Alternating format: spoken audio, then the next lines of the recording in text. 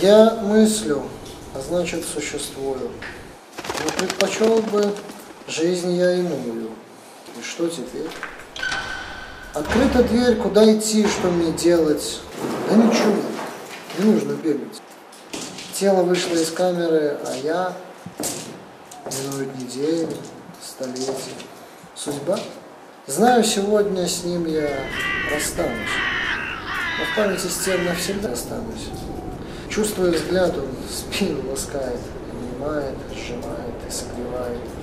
Тело в шаг впереди. Господи, помоги. И плыву, и лечу, и теряю опору.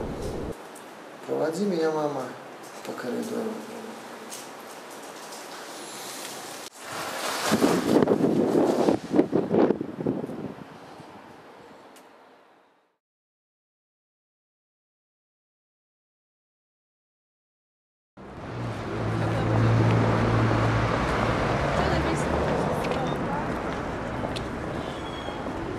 не ў межах кампаніі але в прынцыпе вельмі падобнай дзейнасцю праваабарончы цэнтр весна пачаў займацца значна раней у 1998 годзе і якраз такі адных адным з тых хто браў першапачатковы цяжар працы по смяротнаму пакаранню была і паліна сцепаненко як чалавек які працаваў праваабарончым цэнтры вясна як праваабаронца і у ўжо у тым ліку дзякуючы ёй ёсць вядомыя кейсы напрыклад кейс івана фаміна які якраз таки можна лічыць адным з першых якім пачаў займацца праабароч цэнтру весна гэта быў 1998 год.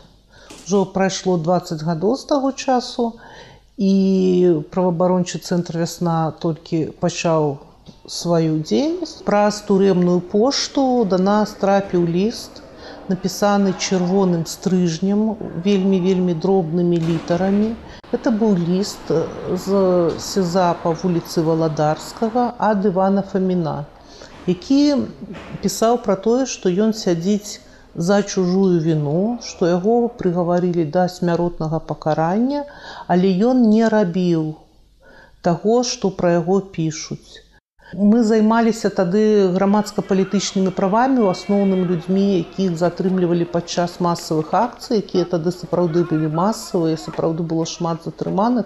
І гэты выклік быў вельмі нечаканы. Мы жылі ў гэтым горадзе, але ніколі не думалі, што ў цэнтры Менска расстрэльваюць людзей.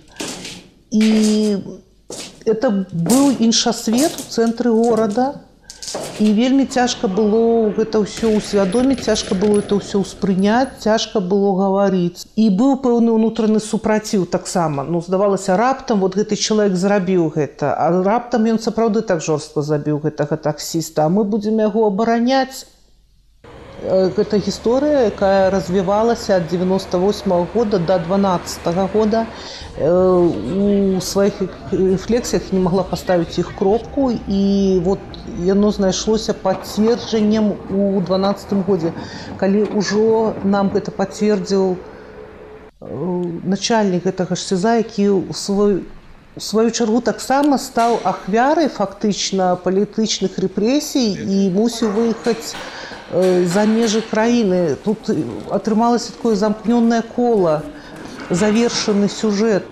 В 98 году вот такие письма к нам попадали на весну. Например письмо от фомина такого. Я помню кстати за чужое преступление расстрел. Да я его хорошо знаю молодой парень. Он э, с группой парней таких которые постарше его. Они убили человека. И он как самый молодой решил там взять это все на себе. Ну, а братва, как э, говорится, да, ты что, там все нормально, ты молодой, там дадут тебе червонец, на тебе передачки носить будем, ты в авторитете будешь. А ему дали расстрел. Я помню, минут за пять до того, как умереть, он то же самое говорил. Какие сволочи, говорит, обманули меня. Вот. И были мои коллеги, которые ему сочувствовали искренне. Ну, и они ему раньше говорили, что ты дурачок, у тебя плохо кончится. Да, ну, братва меня спасет. Ну, братва не спасла. Найбольш складанага пытання у галіне правоў чалавека за смяротнае пакаранне не існуе і гэта сапраўды конечно складанае складанае пытанне сама важна тым больш што і ў ты у той час і зараз актыўна прадстаўнікі ўлады звяртаюць увагу на рэферэндуме кажуць што наше грамадства не гатоў бо большасць выступае за смяротны прысуд Когда был референдум, я даже не знаю, за что я голосовала, понимаете, потому что, наверное, когда человека не коснется, он этого никогда не поймет. И я до сих пор не могу вспомнить, за что я голосовала. То ли я за смертную казнь голосовала, то ли против. Понимаете? Потому что, во-первых, я не знала, что это настолько жестоко, что это ну, не выдают родителям, что это не говорят ни места. Ни... Это, это очень, очень, очень для родных это я даже не знаю, каким словом это назвать, понимаете? Калі мы кажам пра задачы э, кампаніі, то адной з першых задач гэта была актуалізацыя праблемы. Справа тым, што 10 год таму назад у нас дастаткова шмат было кейсаў і людзей, якія прыхаварвались. У нас былі гады, калі па 30-40 чалавек прыхаварвались, прыводзілись выкананне смяротнай прысуды, але гэта было нікаму не цікава. Таму адной з задач гэта была актуалізацыя праблемы і тое, каб пытанне смяротна пакарання станавілось інфармацыйна цікавым для грамадства і для сродкаў масавай інфармацыі, бо гэта дазваляла бы і дапамагала бы выклікаць пэўную дыскусію ў грамадстве. Не сакрэт, што пытанне смяротна пакарання нашай краіне знаходіцца па такой завесай сакрэтнасці вельмі моцнай. І мы сутыкаемся з гэтай завесай неаднаразова я маю на увазе у тым ліку простое тыя ж выпадкі калі мы першыя даведались про тое што расстраляны павел селюн і вымушаны былі мы паведаміць ягонай маці маці селюна э, сабралась ехаць да яго на сустрэчу мы з ёй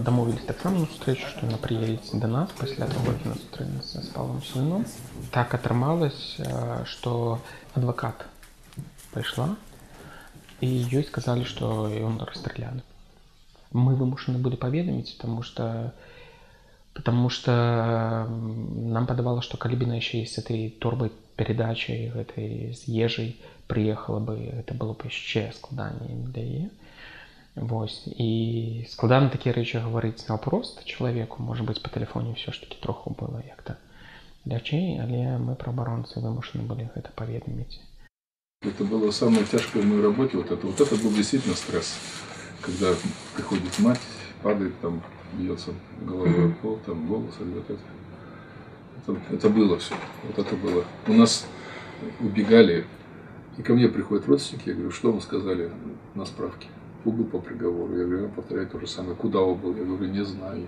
И никто вам там ничего не скажет и не покажет. Убыл по приговору гэта спадчына. Гэта спадчына Савецкага Саюза.